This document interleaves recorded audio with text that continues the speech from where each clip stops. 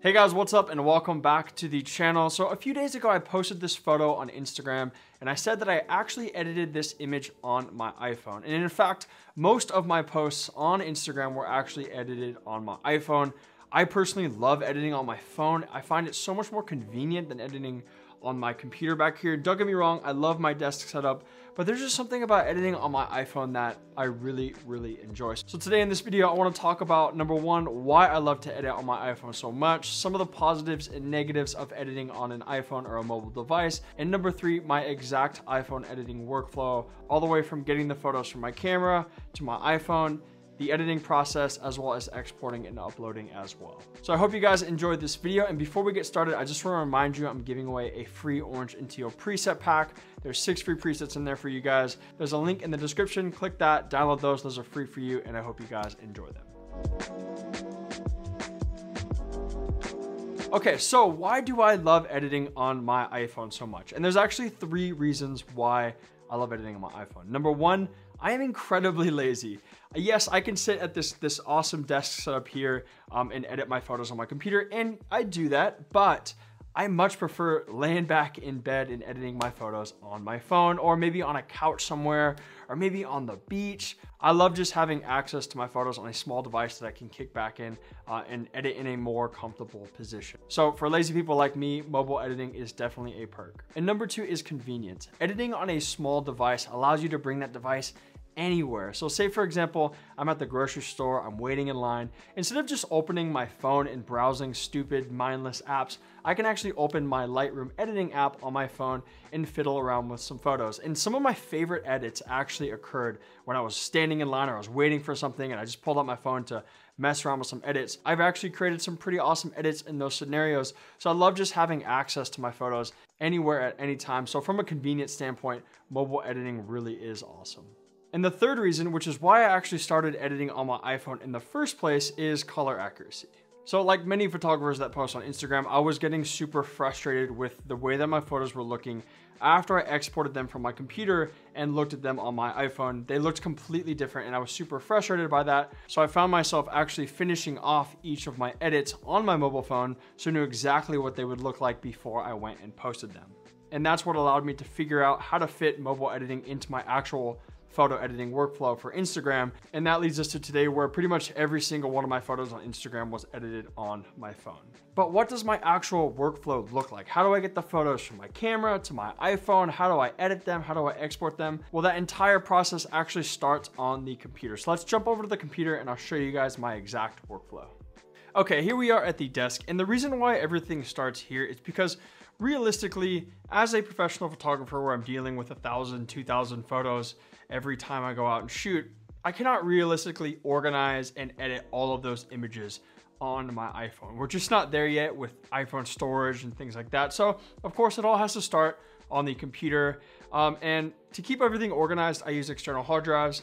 I'm using a two terabyte Extreme Pro SanDisk uh, SSD. It's amazing. I love it so much. And I organize pretty much all of my images on hard drives like these. I'll leave a link in the description if you guys are looking for a good external SSD.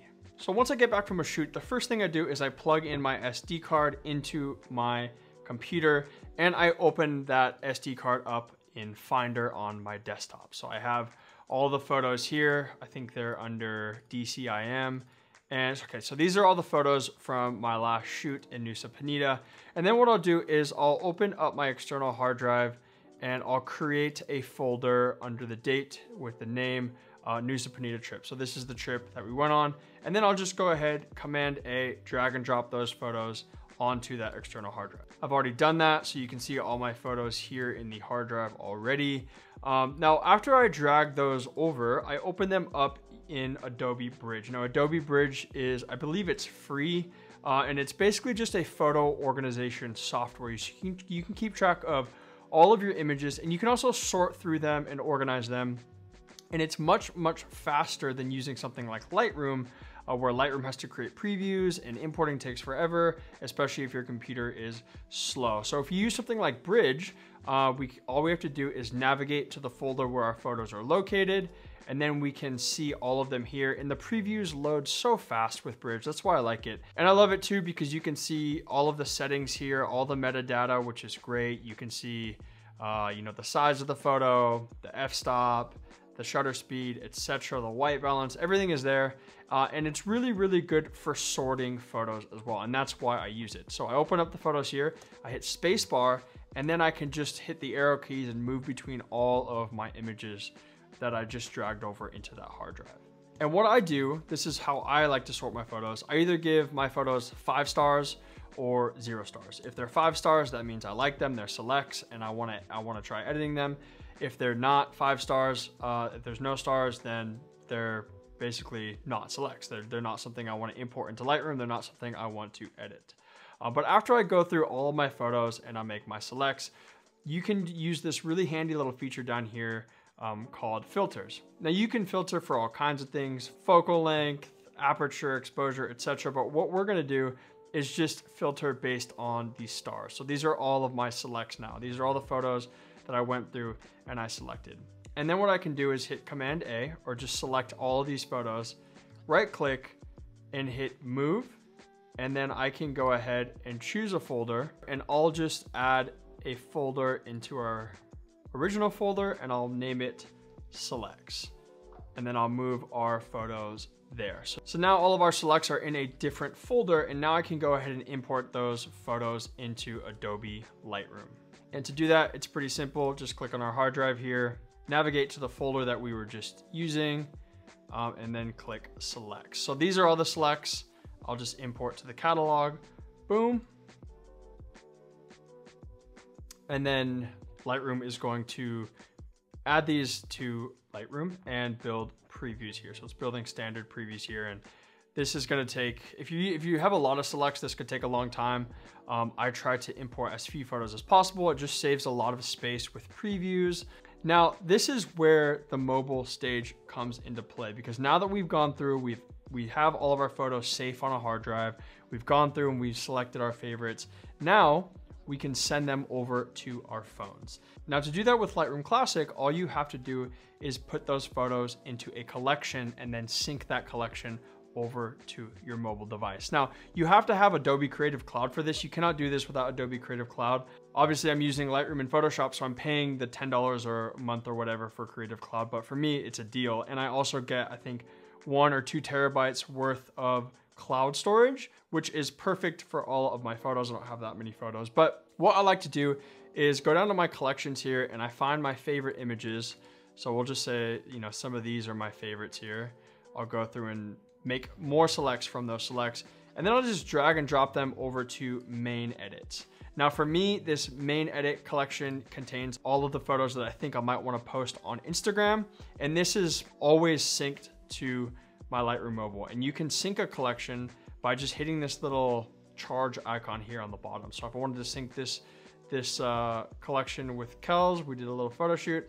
I just have to click that and then it'll sync with my mobile device or any device that is running Adobe Lightroom, uh, including a tablet or other computers or things like that. But main edits for me is where I have all the photos that I'm thinking about posting on Instagram. And I also have some other collections synced as well. Say I didn't have time to go through and select all my photos and I wanna, I'm gonna be on the road and I just wanna check them out. I'll just add an entire folder to a collection and then I'll sync that collection so I can see those on my phone.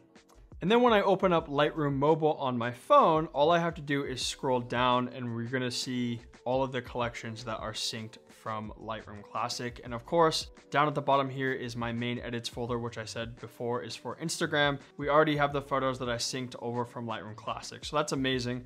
So let's go through and edit one of these photos here. I'm just gonna choose a random one. The ones I actually uploaded were just example images. I'm not really gonna be editing any of those for Instagram, but this is a really cool photo of my friend Kelsey. Um, in my basic editing process for this, this isn't an editing video per se, this is a workflow video, so I'm not gonna spend too much time on this. But what I would personally do is just apply one of my presets. Um, these are my portrait presets. Um, and maybe just, uh, yeah, that one looks pretty good. Uh, make some fine little adjustments, bring down the, the contrast a little bit, maybe make it a little bit softer in the tone curve. Um, and I would give it a crop as well, 4x5 crop. And that looks pretty good. Like I said, it's not an editing video, so I'm just gonna edit this quickly. Uh, yeah, that looks pretty good. Maybe just bring the warmth up. Okay, and then all I have to do is tap this little save icon on the top and then hit export to camera roll. And then I can easily go into Instagram and then upload that photo here on Instagram. Not my videos of my cat, the photo of Kelsey. so it's pretty simple. That is essentially the workflow that I follow. Now, some people are gonna say, oh, you shouldn't do this because you're actually not exporting the raw photo from your iPhone. You're only exporting a smart preview. And that is true. You are gonna lose a little bit of quality because this is technically just a smart preview um, and not the actual raw photo. But what's so good about Lightroom Mobile and Adobe Creative Cloud is any changes I make on my mobile phone or on my computer will sync back to each other. So I can edit the entire image on my phone and then go ahead and export it from my computer. All the settings are gonna be there. Yes, I have to go back to my computer to get the final edit, but that's okay because I'm doing most of the editing on my phone. I know the colors are gonna look accurate and then I'll just export it from my computer later. And if I do export it from my computer, I add it to a Dropbox folder, which is synced to my phone. So I can just upload it to Dropbox on my computer, download it onto my phone, and that's a full res export that I can go ahead and upload to Instagram on my phone. Now there are a few features that do not exist in Lightroom Mobile that do exist in Lightroom Classic, and the two main features that are missing from Lightroom Mobile are the range mask feature, which allows us to make really specific selects. Um, and if you guys wanna learn more about that, I have an entire video on selective adjustments in Lightroom and how you can do so much more on your desktop than you can on your phone. You can make selective adjustments on your phone, but not quite to the same level as you can on Lightroom Classic. And the other thing that's missing from Lightroom Mobile are the color calibration sliders, which are these little things down here, which allow us to really edit uh, the colors in our images and do a lot with that. So unfortunately, Lightroom Mobile does not have those things, but like I said, having Adobe Creative Cloud allows us to easily edit on both of our devices and those edits will stay the same across all devices. The edits will update over the cloud, so that's a very nice feature to have. But in short, guys, that is my mobile editing workflow. And like I said, I do this for pretty much every single one of my photos, unless there's a photo that requires a little bit more heavy manipulation, like Photoshop or something, then I'll go ahead and edit on my computer. But most of the images that I edit do not require Photoshop, and the color calibration sliders do translate over using presets, and my presets all have that, so it's not something I have to worry about. But I think mobile editing is at a good place, and I think it's only gonna get better from here. I'm excited to get an iPad and start editing on that. I think the workflow is gonna look exactly the same for my iPad. I'm just gonna be syncing over my photos using Adobe Creative Cloud um, and editing on my mobile device. That way, I don't have to carry around a hard drive to edit on it. It's very, very efficient.